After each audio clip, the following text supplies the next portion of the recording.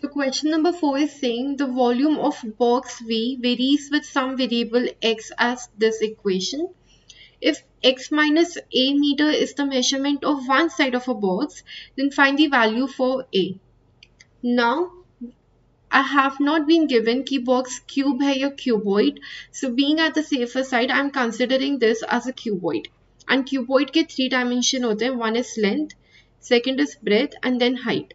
और इसकी वॉल्यूम लिखी जाती है इन तीनों की मल्टीप्लीकेशन से L into B into H but अगर इन डायमेंशंस को मैं x वेरिएबल के फॉर्मेट में लिखूं तो मैं लिख सकती हूँ that volume in terms of x is x minus a x minus b and x minus c अगर इस इक्वेशन को ध्यान से देखा जाए so this is a cubic equation having a b c as its root तो इसे मैं डायरेक्टली कैसे लिख सकती हूँ?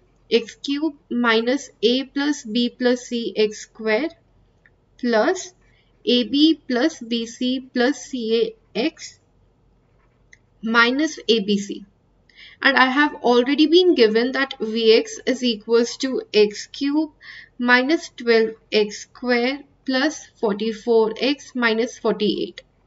Now I have the two equations of the same value first equation and second equation both are the expressions of Vx. So after comparison I am getting that a plus b plus c is equals to 12.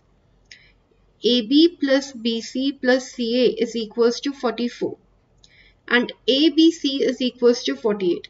So basically I have the three variable abc and three equation. So after solving this equation I will be getting a as 2 B as 4 and C as 6. Though it has not been given that x minus a are we talking about length or breadth or height. So obviously like we can have multiple combinations. So a can also take a value of 4 and it can also take a value of 6. So answer can be 2, 4 or 6. All three are correct. So that's all in this question. Thank you so much for watching and don't forget to subscribe to the channel.